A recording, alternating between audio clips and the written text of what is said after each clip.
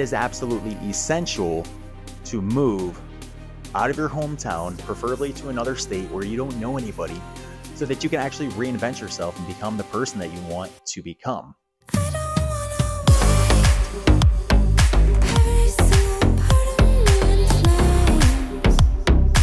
So, why did I move to Tampa?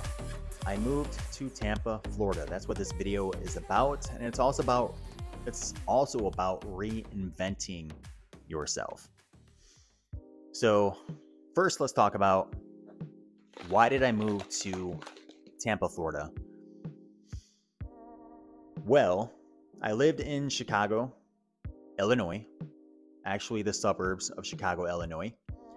And I had just gotten done going through a very depressing, gray, sunless winter.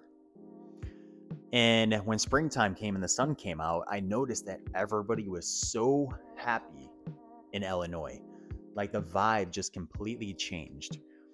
So I made an agreement with myself that I was going to move down south somewhere that has more sun all year round because I realized how important the sun and the weather is to your happiness. And that's when I decided to start applying for jobs in Florida. So I was looking at either Miami or Tampa.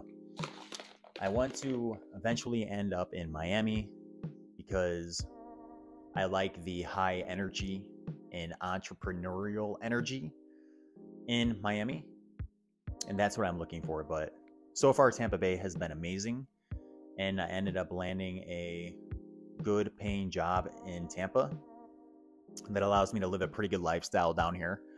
I live downtown Tampa in Channelside, and I mean, there's nothing. There's only really good things I can say about living in Tampa, Florida so far. So that's why I moved down here. And I also moved down here to reinvent myself because I believe that in order to become the person that you want to become, you have to get away from all of your old friends, from your family, um, from everything that you know to reinvent yourself and go through a rebirth.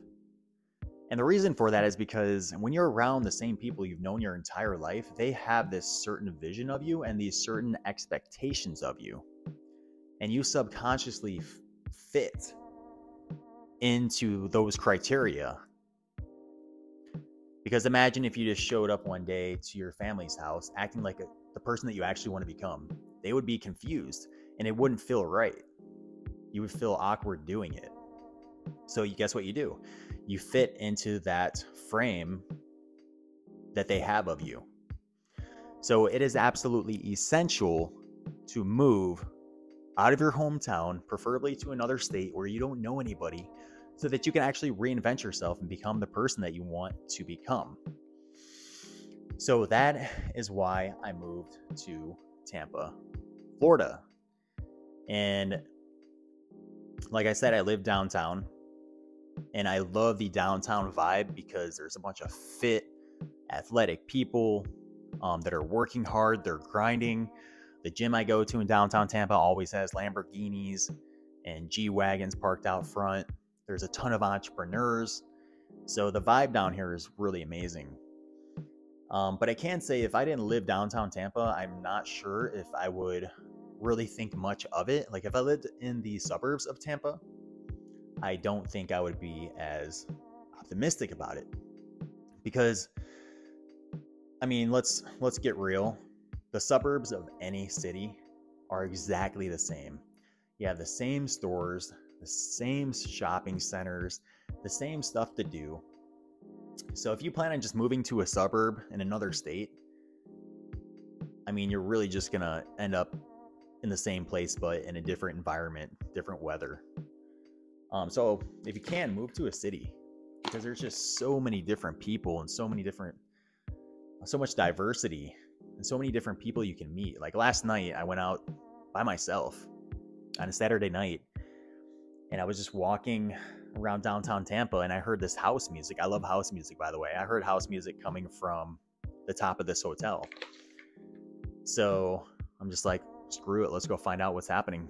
So I made my way to the top of this hotel and it was badass. Like super classy vibes, house music playing. Um, the lighting was perfect, skyscrapers all around the building. I ended up meeting a bunch of really cool people. Um, got a bunch of phone numbers um, from different people that I can network with. So you got to put yourself out there too when you do move to a new city. If you isolate yourself and you get back into your routine, it's so easy to get back into your routine, your old routine that you had in your home state. And that's not going to get you anywhere. So you have to continually get out of your comfort zone in order to grow. So right now I live in Channelside District in downtown Tampa.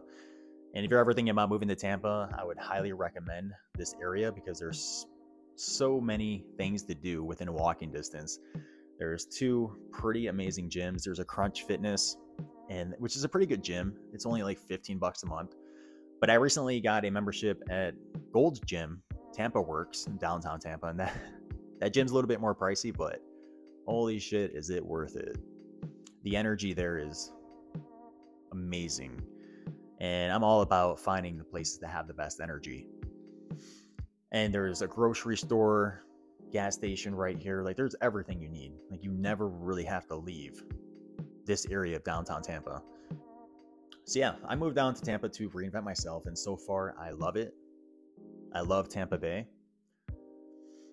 It has been a mostly amazing experience so far, and I plan on starting uh, my own businesses and you know starting my own podcast, which is what this is, the Triton Kade Lifestyle Podcast where I just want to help help people, primarily men, become the best versions of themselves. There's just so much I want to do on the online space. And I believe living in downtown Tampa will give me that that entrepreneurial energy that I'm looking for. Because I've met so many entrepreneurs while I've been down here. Um, I've met people that own their own media companies. Um, I've met people that own their own insurance companies, and they're all young guys. They're all in their 20s, and they're killing it. They're driving like Lamborghinis, and people that own their own med spas, and it's just, I mean, your environment is going to create who you become. If you live in a small town where people are working just regular jobs, construction jobs, nursing jobs, um, front desk jobs, that's what you're going to become. You need to be surrounded by people that you want to become like. So people that own their own businesses that and that are crushing it and have the freedom to travel whenever they want. And you know, they're they're happy with what they're doing. You got to put yourself in that environment. And that's another reason why I moved to downtown Tampa. Almost kind of against like photos and videos because constantly having this recording of your past, like these old photos of you, this old video footage of you, it almost makes you get stuck in your past because then you see this picture of you from when you're, you know, 22 years old and maybe you're getting wasted all the time and making bad decisions. It's like you almost become reassociated with that version of yourself.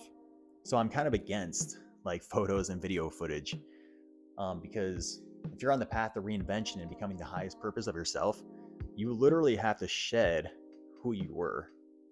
You know, using the the caterpillar and cocoon analogy, you know, and blossoming into a butterfly, you have to let go of the past, which is extremely hard to do because you're letting go of your old self and that's all you've ever known. And I mean, the secret, guys, to becoming the best version of yourself is going through extreme discomfort, pain, and suffering. Because if you graduate high school, go to college, and you get a nice, cushy corporate job, and you're living in your comfort zone for 35, 40 years until you retire, and you've never gone through any trials and tribulations, you're not going to become great. You're just going to be average, and you lived an average life. But the people who are at the top and who have succeeded in so many different avenues of life. They have gone through some shit, guys. Like you have no idea. If you haven't been through shit, you have no idea what they've been through. So every time when I do go through pain and suffering, I'm actually kind of happy for it because I know I'm going to become a better man on the other side of that pain and suffering. So, to conclude this video, I moved down to Tampa Bay, Florida, to reinvent myself, to start these businesses I've always wanted to start, and to become this person I've always wanted to become. And if you're thinking about moving to Tampa, Florida, if that's why you clicked on this video, I highly recommend it. But I would recommend if you live in Tampa, the Tampa area, live downtown Tampa. Okay, you don't want to live outside of downtown Tampa. Or live across the bay and live in like St. Pete's Beach, Clearwater, and get an apartment next to the beach. Um, I'm kind of regretting I didn't do that because I want to be within walking distance of a beach. Um, because I just love walking barefoot and getting sun. Um, downtown St. Pete's is badass too. So I would highly recommend moving to this area. It's amazing. The only negative thing I have to say about the Tampa Bay area is the traffic. Okay, the traffic is horrible. I mean, there's so many people moving down here from up north, like myself, and the traffic is just absurd. Okay, so if you have to commute for work, it's really going to drain you and drain your energy. So try to get a place as close to work as possible. And if you can work remotely, just move down here. It's amazing. So that's it for this podcast, everyone. I will see you in the next one. And I am looking forward to seeing you soon. Peace.